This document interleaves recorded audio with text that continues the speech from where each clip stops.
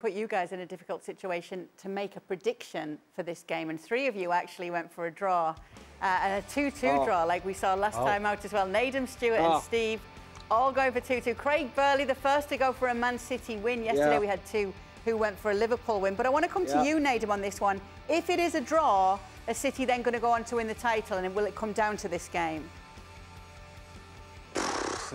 Uh, I, just think anyway, with with regards to this game, obviously it's huge, and it'll be the team. The team, if someone wins, they're going to be on the front foot between now and the end of the season. But the fact is, like you've still got seven other games to go, and you know some people are saying Liverpool's running hard, and I can see that because say you're coming up against a Spurs side that's in form, like I'm going to say a United side that are trying to finish in the top four. So there's no guarantee that anything's going to be done after this. And I think if you probably pick up that tone from the players that whoever wins, you won't see them doing cartwheels on the field because they understand that the business isn't done yet. I think if this came in maybe three, four weeks' time, then yes, you'd probably feel it's more definitive. But it's just, as I say, it's, it's a big it's a big chance to get the upper hand. But there's so much more work to be done. And as you can see from some of those fixtures there, like Liverpool, it's just it's not it's not over. And I think if anybody says that every whoever's going to win is just going to win all those games, I think we're very much missing the point because this is what, one of the beauties of the Premier League. The fact is that if you're not at your best on any particular moment, you could lose a match. So for them, you know, this is the first game in what is going to be a very long, significant run for them between now and the end of the season if they want to achieve their goals from both sides. Stevie, you've gone for a draw, but do Liverpool yeah. need to win this one? Uh, yes.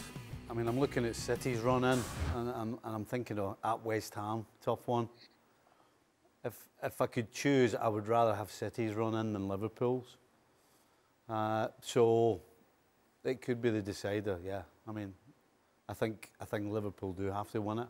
I 100% agree with Nedum that one of these sides and those games that are left are going to slip up. I'm not saying there's going to be a loss, but there's going to be a slip up somewhere because that's just what happens. But even so, a lot of, comes a lot of fence sitters in a lot of fence sitters in this show, isn't there, going for the draw, Craig? Well, the problem uh, is you can't. Uh, well, yeah, so why have, you, why have you gone for City? Because you're the first that I've seen since I've been on the last two days that's gone for a City win. Well, that really, I saw Stevie's email this morning said two two, so I thought I'd go something different. But no, I, I'm not. I'm not convinced. To be honest with you, it's such a hard call, and it could go either way. I think if you look, the last time Liverpool got a victory, and it, listen, this doesn't mean a lot. The last victory Liverpool had in this fixture was 2019. The last four, uh, there's been two City wins and two draws. So they've just slightly, slightly got the upper hand recently in terms of results. And that's the only, and they're at home at the Etihad. And that's the only reason I've gone for a I said to you, Wayne, I'm not, I'm not, I haven't convinced myself, but that's that's the only reason. Stewart, do Liverpool need a win in this one? I know you've gone for a draw, but do they need the win? You'd think so because they've got to keep that momentum going. Whoever comes out of this on top, and I would say it's on top for Man City if they get a draw, uh, they've they've got the momentum. I think if Liverpool win, I think they go and win the title because the momentum will be with them. They've got everything to play for. It's going to be a great game, but uh, Liverpool need to win it, I think.